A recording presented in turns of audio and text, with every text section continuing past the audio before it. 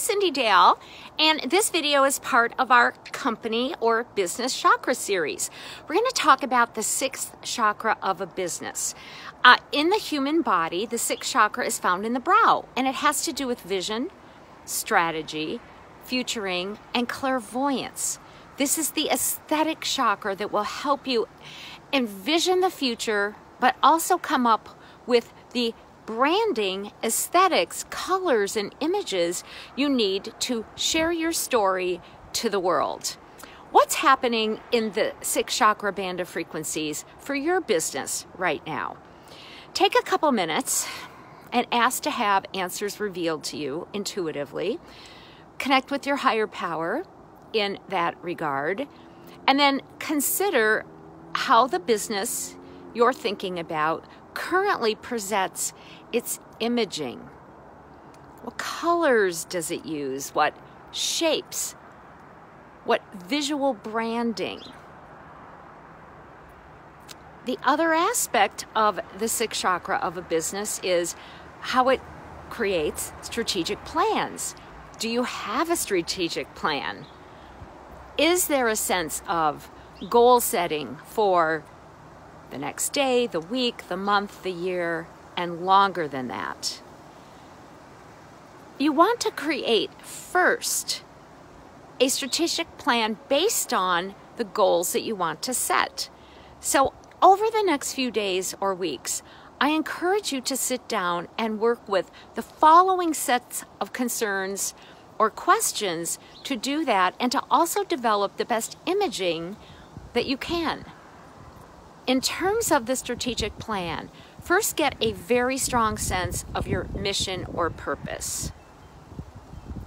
And then ask how your services feed or nourish that overall purpose. What are some of the objectives you need to set in order to further create or birth those services? And what's your time frame?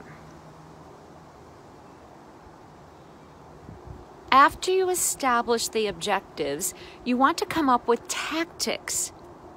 You need to spend some time on what steps you're going to take or you need others to take to achieve a longer goal. Now, you can set these goals for a month, but you really want to look at an entire year, if not five years. And in order to establish that kind of farsightedness, take a minute and intuitively get a picture, a clairvoyant or a clear seeing psychic image of where you could be in five years or where the business could be